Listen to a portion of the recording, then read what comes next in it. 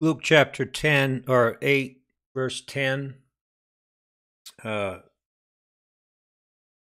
I'm seeing this heresy that's taking over at large. It seems that this false doctrine, this doctrine of hell, it's a universal, damnable heresy. And I'm not going to deal with it in this message, but it's a heresy, people, that Jesus forgives future sin. In other words, the idea is that he forgives a sin that you have yet to commit.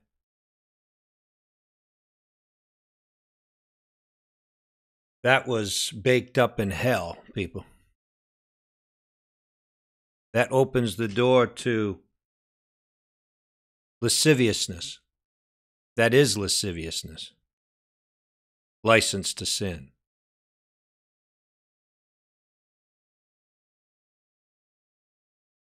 Beware. Anytime anytime a doctrine comes along that promotes the idea that you can continue continue to sin. I mean, they're going as far as saying that God welcomes failures. And they lightly talk about repentance. I hope you had an opportunity to hear the message we shared about godly sorrow that worketh repentance unto salvation. So needed so needed in this hour. That's why we changed the title of our channel on YouTube Deliverance from Sin. So needed in this hour.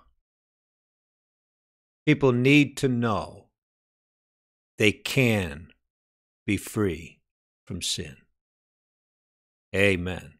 And must be if they're going to go to heaven. You can't continue in sin and go to heaven. Even Paul said, Shall we continue in sin that grace should abound? God forbid. Amen? In fact, someone that continues to sin and won't quit sinning and has come to the knowledge of the truth, Scripture says God will cut him off. Eventually, he'll cut him off. So there's got to be true repentance. Amen? Got to be true repentance. Again, that's not my message. Luke chapter 8, if you like to follow in the reading of God's word, Luke chapter 8.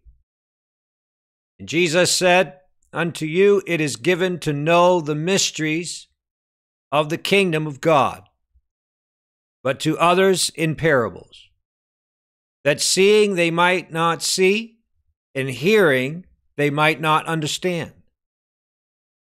Now, the parable is this the seed is the word of God. The seed is the word of God. That, before you understand anything else, that must be established.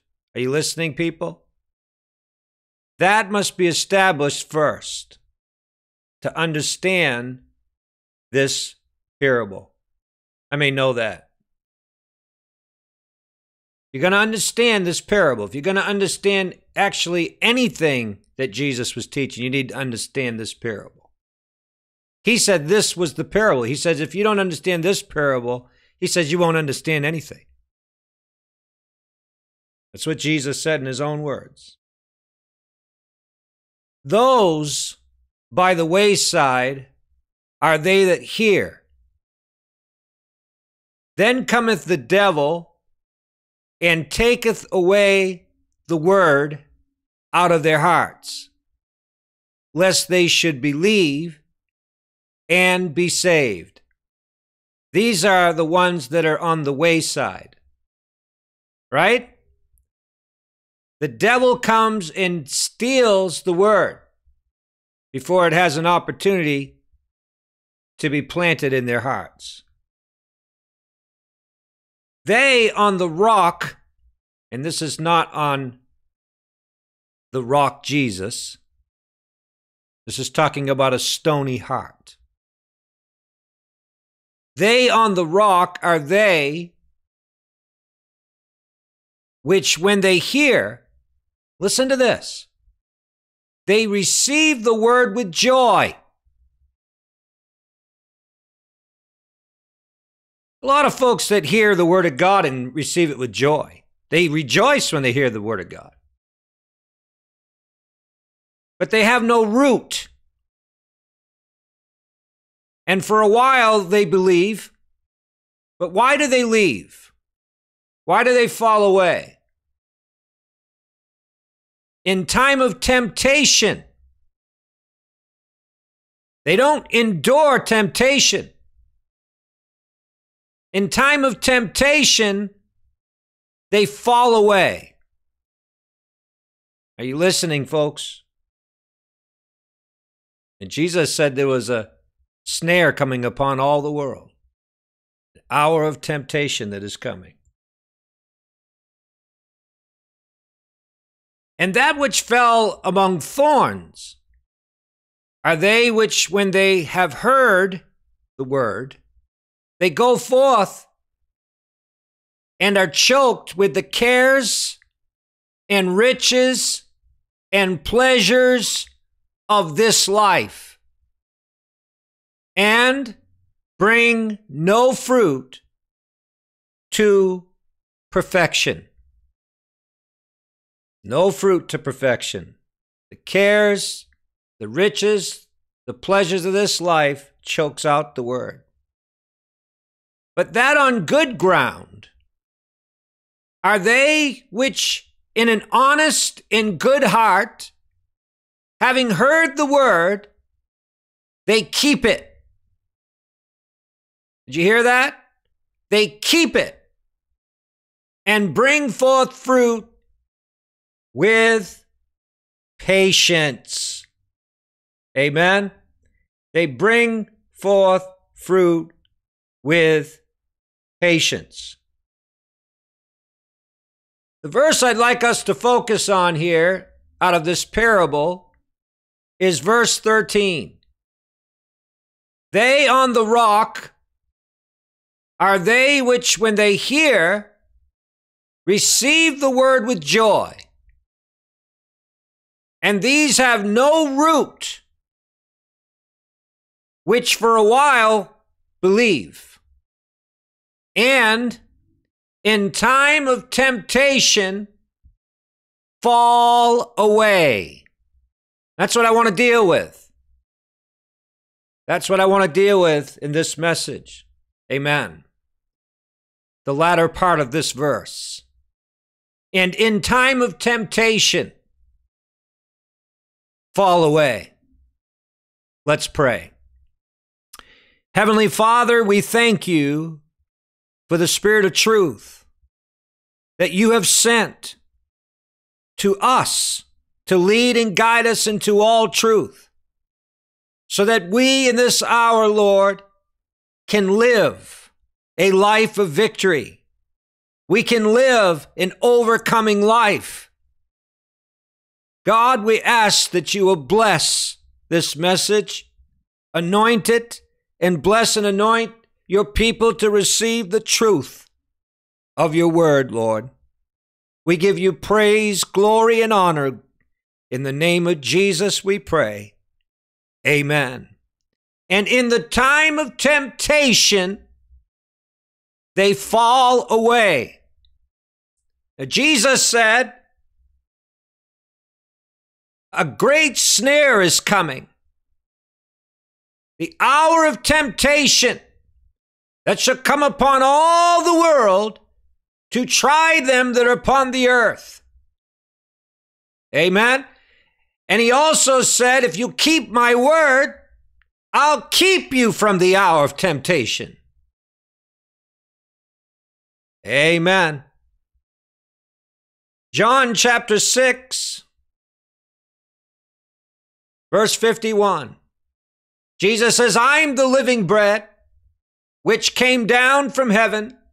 If any man eat of this bread, he shall live forever.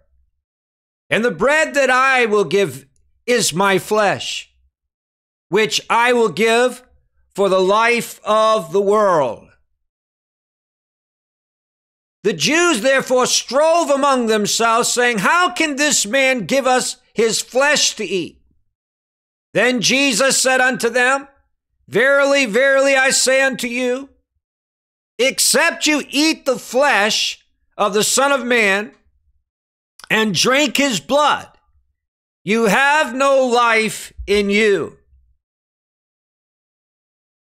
Whosoever eateth my flesh and drinketh my blood hath eternal life, and I will raise him up at the last day. For my flesh is meat indeed, and my blood is drink indeed. He that eateth my flesh and drinketh my blood dwelleth in me, and I in him.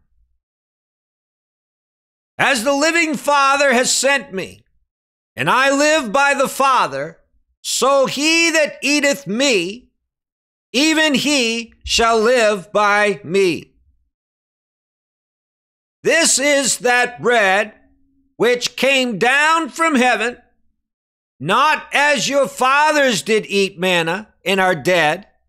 He that eateth of this bread shall live forever. These things said he in the synagogue as he taught in Capernaum. Many, therefore, of his disciples, when they heard this, they said, This is a hard saying. Who can hear it? When Jesus knew in himself that his disciples murmured at it, he said unto them, Does this offend you? What? And if you shall see the Son of Man ascend up where he was before, it is the Spirit that quickeneth, the flesh profiteth nothing. The words that I speak unto you, they are spirit and they are life. But there are some of you that believe not. For Jesus knew from the beginning who they were that believed not and who should betray him. And he said, Therefore, he said unto them, that no man can come to me except it were given unto him of my Father. Listen, from that time, many of his disciples went back. Are you listening? From that time, many of his disciples went back and walked no more with him. Then said Jesus unto the twelve, Will you also go away?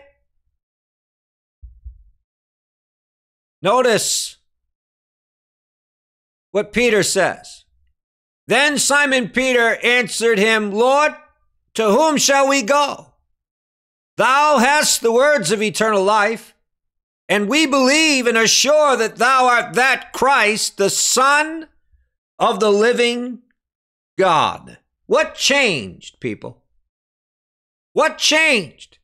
Peter is saying, We believe you're the Christ. We believe you're the Son of God. We believe you're the Son of the living God. But when the hour of temptation came, Peter said, I don't even know the man. He denied he even knew him three times. Listening to me and to curse and swear, I don't know him. Amen. Jesus said to them when they were praying, Pray that you not enter into temptation. The spirit is willing, but the flesh is weak. We're in the time, brothers and sisters, that Jesus warned us of. The time of temptation is here. And it's going to get much worse. But the Lord said, if you keep my word, I will keep you from the hour of temptation. And we just read in a parable that if we keep the word with an honest heart, that we could bring forth fruit to perfection. Are you listening? How many know there is a falling away coming? Amen. And it was those that rejoiced when they heard the truth. When they heard the word, they rejoiced. But they had no root in themselves. They were not rooted and grounded in Christ. The time of temptation, they fell away. Second Thessalonians chapter 2 verse 3. Let no man deceive you by any means. For that day shall not come except there come a falling away first. And that man of sin be revealed, the son of perdition. Are you listening, brothers and sisters? Before that man of sin can be revealed, there must be a falling away first. Jesus said, Those that fell away, they were the ones that rejoiced in the truth. Oh, my Lord, I feel the Holy Ghost. Listen to me. Just as much as it's not enough just to be sorry to be saved, it's not enough to rejoice to be saved.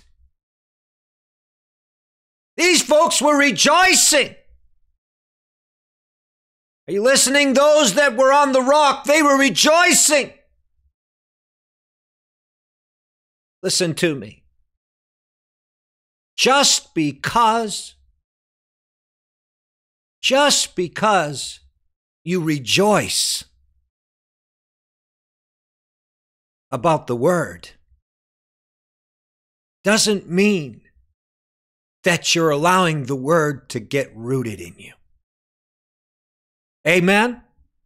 The word of God's got to become rooted in you if it's going to produce. How many know the seed of his word? It can't stay just seed. It's got to fall into the ground and die. Otherwise, it abides alone. But if it falls on the ground and dies, the scripture says it brings forth fruit, much fruit. Listen to me. Why don't you allow the truth to be planted in your heart? And why is it that you will not allow His truth to produce His own divine nature in you? You hear with the ears and you rejoice. But his word never gets into your heart.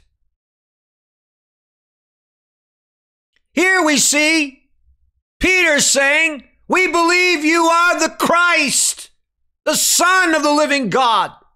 Where are we going to go? Only you have the words of eternal life. Just a little while later, I don't even know the man. I don't know him.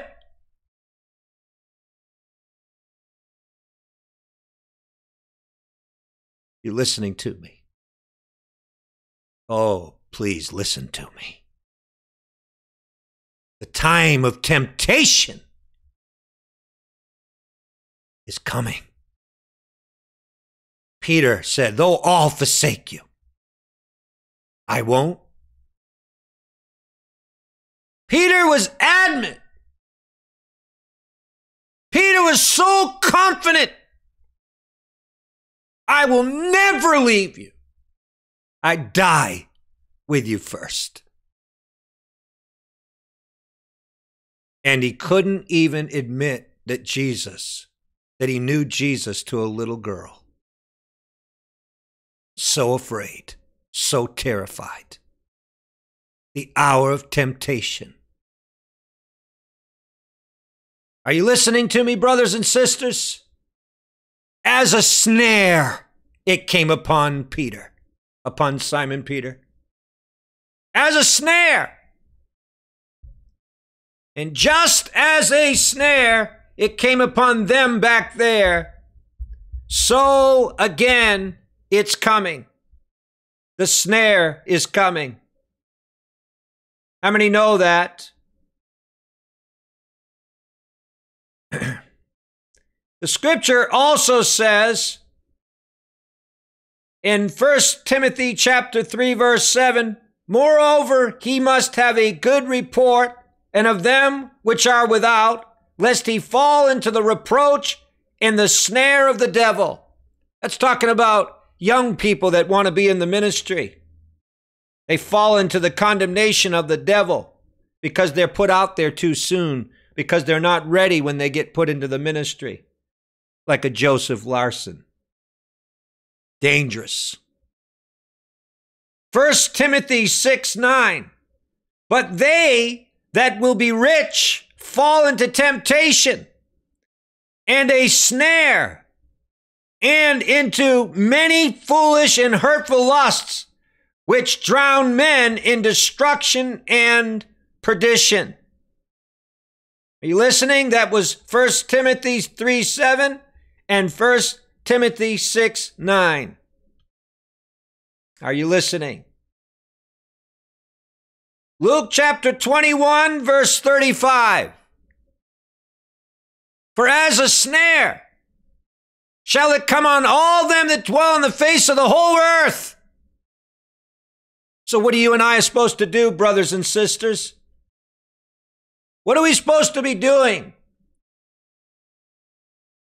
Take heed to yourselves, lest at any time your hearts be overcharged with surfeiting, with drunkenness, with the cares of this life. And so that day come upon you unawares. For as a snare shall it come on all them that dwell on the face of the whole earth. How do we escape? Watch ye therefore and pray always. How are we going to escape? Watch ye therefore and pray always that you may be accounted worthy to escape all these things that shall come to pass and to stand before the Son of Man. Please listen to me. This could be one of the most important messages you've ever heard. Just because you rejoice and you say you're standing on the rock doesn't mean you're rooted and grounded in the truth. That you're rooted and grounded in the love of Christ. Are you listening to me? How many know there's a strong delusion that is coming? And many are going to fall away. Many are going to be deceived.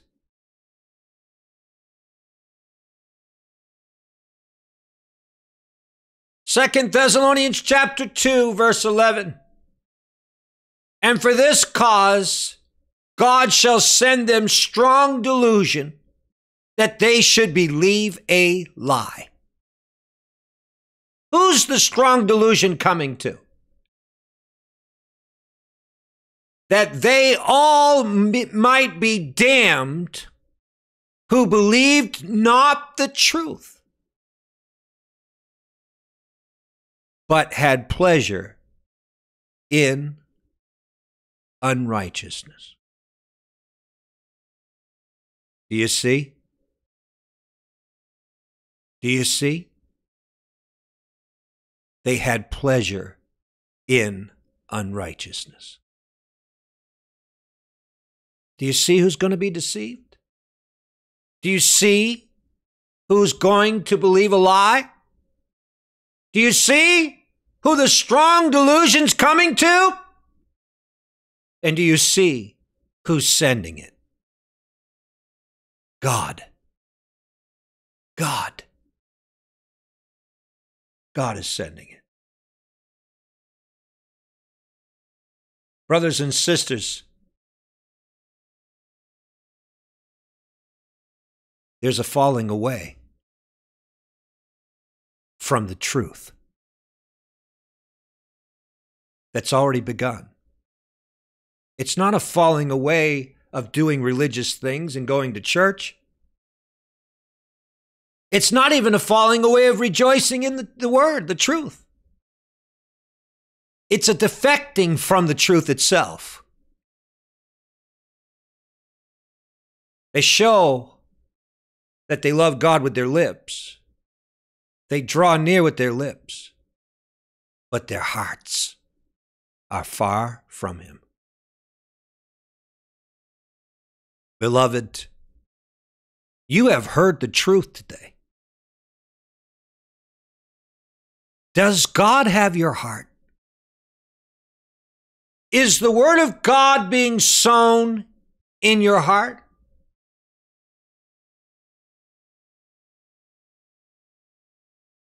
Are you listening? We need to let His Word grow in us, produce in us. Amen? Receive the Word of God. Receive the engrafted Word. Don't resist it. Don't fight it. Receive it with meekness. Hallelujah. You may not agree with it, but it's His Word. Receive it with meekness. Your flesh will fight it, but receive it with meekness. It's your only hope. It's the only way you're going to be saved. Are you listening? It says they did not receive the love of the truth that they might be saved. Isn't that what it says? They would not receive the love of the truth that they might be saved. They had pleasure in unrighteousness. Oh, Lord God Almighty. I feel the presence of the Lord, people. Hallelujah. The love of the truth. You say, you say that you love the truth. You say you love the truth. And with all deceivableness of unrighteousness, in them that perish, because they received not the love of the truth. But wait a minute. Scripture says they're rejoicing in the truth. They're rejoicing in the word. It says they're standing on the rock. And they're rejoicing in the word.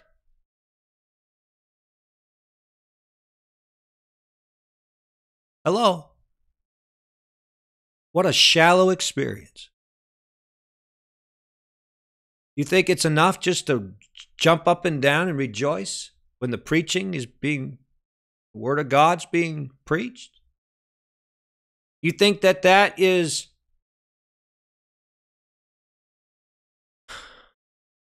evidence enough?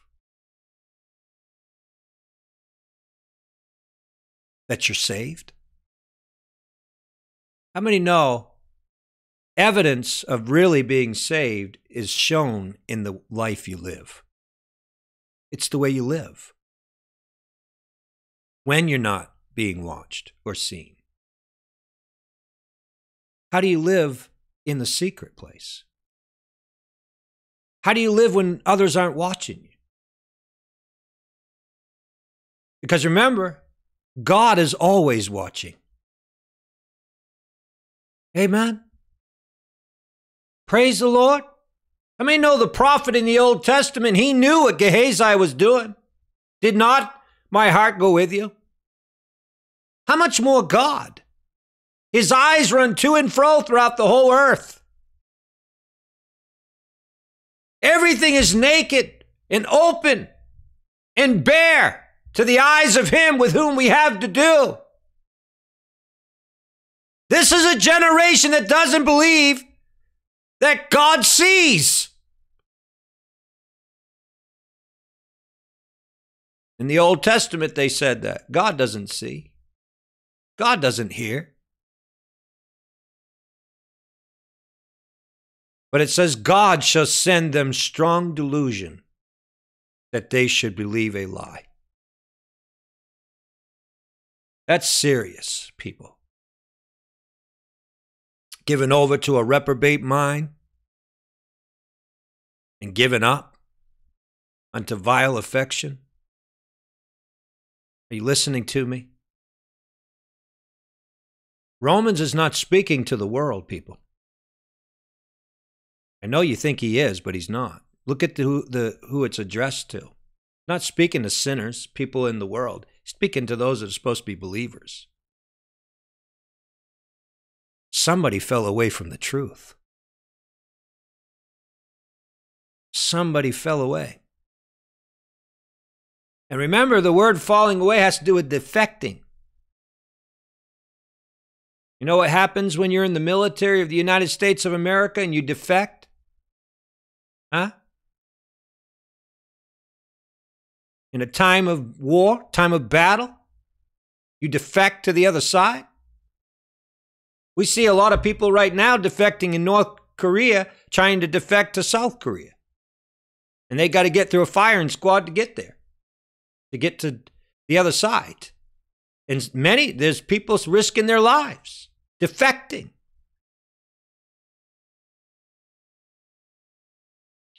Why would you ever defect from the truth? Why would you leave him? Why would you leave the only one that can save you from your sins?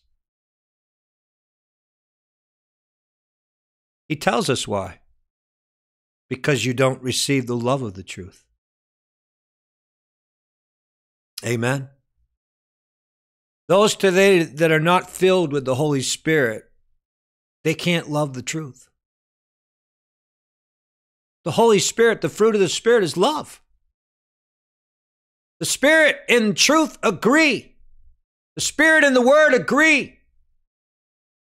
If you're not being filled with the Holy Spirit, brothers and sisters, you're not going to hunger and thirst after truth. I've said many times the Holy Spirit's like the oil, the truth is the fire. Praise God. And you and I are like a candlestick. Amen. Praise the Lord. We need oil. We need the Holy Spirit. Not just the truth. We need both. And we need a balance. Like my pastor used to say, you get too much of the Spirit, you'll blow up. You get too much of the truth, you'll dry up. He said, but if you get a balance of both, you'll grow up. We are to worship God in spirit and in truth. God is a spirit.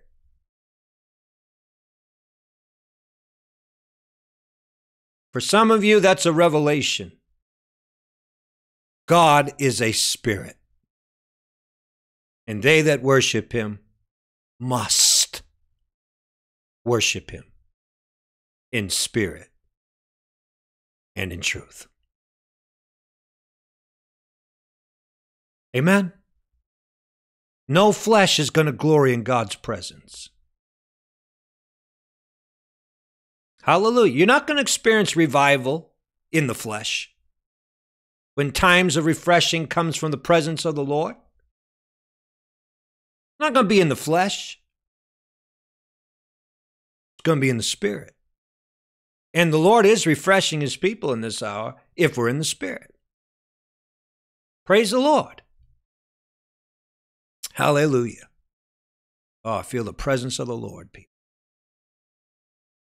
I need thee. Oh, I need thee. I need thee. Oh, I need thee. Bless me now, my Savior. I come to thee. I need thee. Oh, I need thee. I need thee, oh, I need thee. Bless me now, my Savior. I come to thee.